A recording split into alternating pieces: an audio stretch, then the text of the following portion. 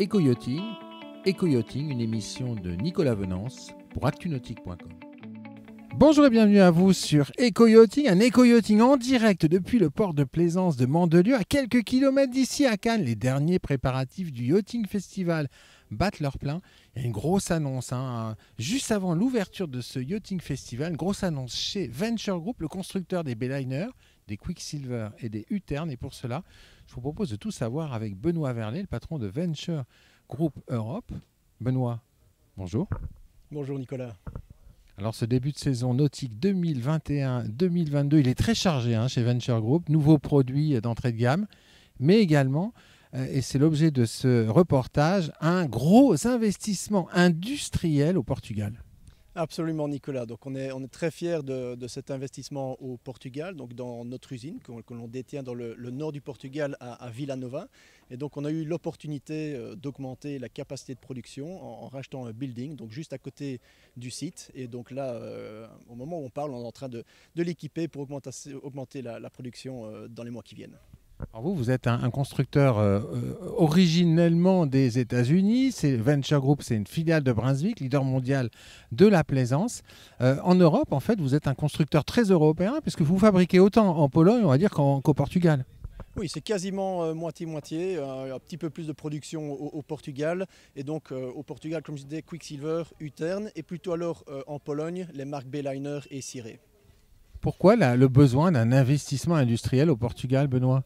On voit le marché pour l'instant est, très porteur. On, a euh, pour l'instant encore une demande qui est très forte. Euh, une grande proportion des bateaux vendus à nos concessionnaires aujourd'hui sont déjà vendus clients finaux. Donc ça, c'est vraiment des signes euh, très encourageants. Et on voit aussi que le, stock en moyenne dans les, différentes concessions européennes est assez bas. Donc vraiment besoin de capacité supplémentaire, d'où cet investissement.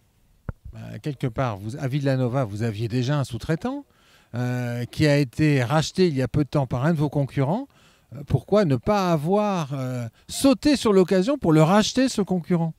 Mais sauter sur l'occasion, c'est une chose. Maintenant, si on rachète une usine qui a beaucoup de capacité de production, ce qui était le cas avec l'opportunité qu'on avait, ça demande de, pour nous de transférer quasiment tous les moules dans cette nouvelle infrastructure et donc de perte en capacité de production sur à plus ou moins 6 à 12 mois, ce qui n'est absolument pas le bon timing, puisqu'il y a une demande de bateau, la demande est forte, et donc vraiment l'opportunité que l'on a maintenant, c'est de ne pas déstabiliser notre site de production actuel, et en parallèle d'augmenter la production, et une augmentation qui sera plus ou moins de 1000 bateaux une fois qu'on sera vraiment euh, à pleine capacité. C'est énorme ça, 1000 bateaux de plus par an pour le marché européen? Oui, on voit qu'on a, on a, on a, la demande et puis bon, l'investissement dans les, dans les nouveaux produits euh, ne, va, ne va absolument pas euh, bah, se stopper. Euh, au contraire, on va, on, va, on, va mettre la, on va passer la seconde, si je puis dire.